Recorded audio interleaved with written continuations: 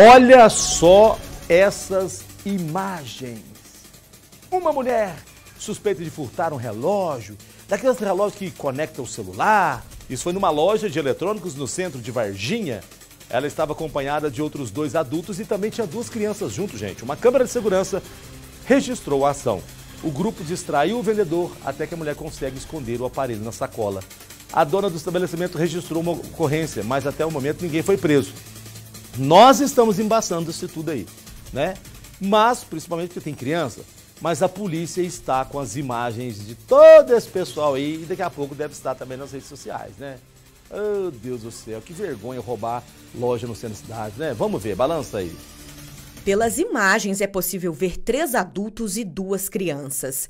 Eles andam de um lado para o outro, olham e pegam os produtos como se tivessem interesse. Repare que o vendedor está no canto esquerdo do vídeo e atende a mulher. Ela parece tirar algumas dúvidas sobre as mercadorias. Enquanto isso, o homem e uma outra mulher, que é mais velha, observam a movimentação e também as prateleiras. As crianças apenas acompanham os adultos que se mostram clientes interessados. O funcionário permanece perto da vitrine e dá orientações ao grupo. A todo momento, o casal parece tentar distrair o vendedor. O homem mexe no celular e tenta mais uma vez chamar a atenção do funcionário. De repente, o vendedor se afasta da vitrine e segue em direção ao caixa. Ele fica de costas para o grupo. É nesse momento que uma das mulheres pega um produto e coloca na sacola. Veja de novo. Ela se esconde atrás da idosa para que o rapaz não perceba. Esse caso foi aqui em Varginha, no sul de Minas. Foi depois que esse grupo saiu aqui do estabelecimento que o vendedor percebeu que um relógio como esse daqui, ó, havia sumido da prateleira. O meu funcionário me perguntou do produto, né? Perguntou aonde que estava, porque no dia anterior veio uma cliente pediu para eu separar, então estava separada e ele ele pegou ela não veio buscar, a gente colocou na vitrine de novo e ele me perguntou se tinha vendido, eu falei que não. Aí ele me perguntou onde que estava, eu falei assim que estava no mesmo lugar, que estava na, na prateleira. Aí ele falou assim que não tava. Aí eu falei assim, então vou ter que olhar na câmera porque alguém deve que pegou. Aí ele falou assim, teve uma, uma um pessoal que veio aqui que é meio suspeito. Olha no horário que eles vieram. E aí eu fui olhar e realmente eles tinham furtado o relógio. Quando percebeu que se tratava de um furto, Josimara ficou assustada.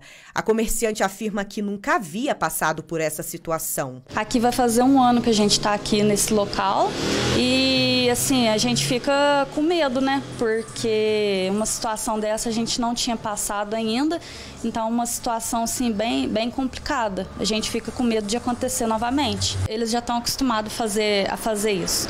Porque, assim, é, pelo jeito do vídeo, a gente vê que foi uma ação conjunta. Os três estão em sintonia para acontecer o furto. Ela procurou a polícia militar e registrou uma ocorrência. O relógio levado custa 350 reais. Ela espera que a mulher e os dois comparsas sejam identificados. A gente fez até o BO já, a polícia já está ciente, a polícia já está com o vídeo também. Então espero que seja tomadas medidas cabíveis é, para esse acontecimento, que a polícia possa mesmo é, achar esses autores, né? E tomar as medidas cabíveis com eles. Nós entramos em contato com a Polícia Militar e a informação é que as buscas pelos suspeitos já começaram, mas até o momento eles não foram presos. Até o momento, mas vai ser até o fim da tarde. Você vai ver. Nós tivemos que embaçar porque tem criança ali junto, né? Mas vou falar uma coisa para vocês. Pode ter certeza, a polícia vai pegar. Então a sugestão que eu dou para vocês aqui, vocês que estão aí que roubaram esse relógio, vai até a loja, chega lá com a maior vergonha da, do mundo, com a cara mais lambida e fala para a dona da loja: Olha, a senhora me perdoa, é, fiz errado, foi um momento ruim da minha vida, que eu estou passando por dificuldades, seja o que for. Inventa alguma coisa. Tô, vai um junto, vai um outro adulto junto, manda te beliscar para ver se dói, para ver se sai uma lágrima, ver se finge um choro, que vai ser melhor.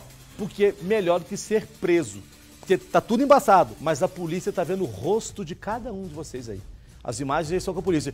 Isso se essas imagens depois não viralizar nas redes sociais aí, que vai ser pior verem a cara. Então, se vocês estão assistindo o Balanço Geral, vá lá na loja.